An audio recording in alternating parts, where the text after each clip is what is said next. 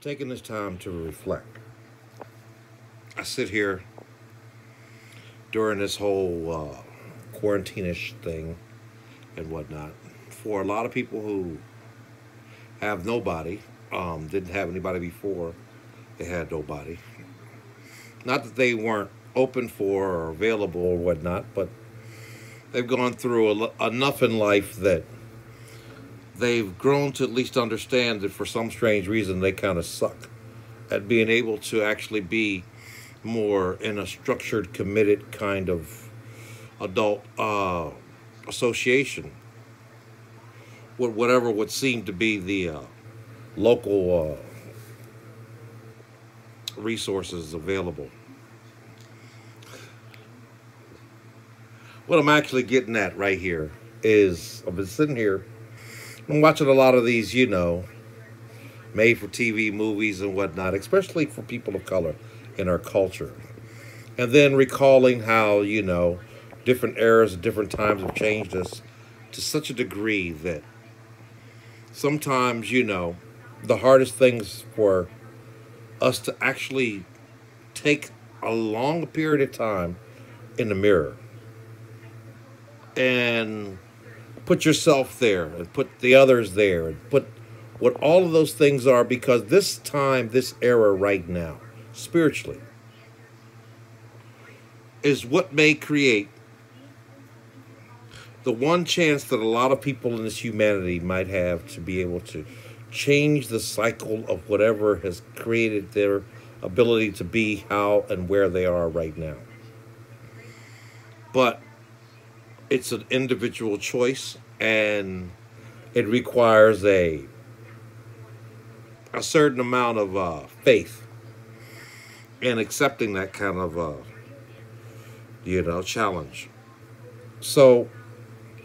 what I'm kind of beating around the bush with is you know I was reading a little meme that was saying something about if you are still uh, harboring a certain disgust, dislike, distaste, or anything for any form or fashion of whatever someone else in your your past attempt of, of, of cohabitation has been in your life. More than you're capable of totally eliminating that that instinct merely by you know being able to better identify all of the other things that might have countered more of that, for surely the importance of you being more prepared that no other time after that should you fall for the same things that you fell for the last couple of times enough for nobody to notice that you know you falling for that would make a you know a snowball effect. Um a lot of times you know we get to a point where we forget where the fun of all of this used to be. You know, and this whole relationship thing, you know, we used to have this dream and feeling. Not that we weren't going to be able to, you know, have our own little thing or this, that, and other, but to be uh, noticeably valid in others' lives. The craving, the desire for that to be the focal point enough that there would be no need for uh, tribute, you know, more so than the actual identifications of doing that. You know, you made uh, an easy bake oven or you made a tea party or you played house with the intentions of, you know, I really just enjoy spoiling someone who is not really equipped to handle the amount of spoiling. I really get more off of just doing than they really honestly, you know, qualify for.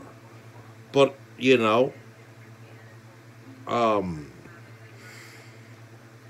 the fear of, you know, and then they gonna mess it up and this, it has nothing to do with what somebody else is going to mess up or this, that, and the other. It's better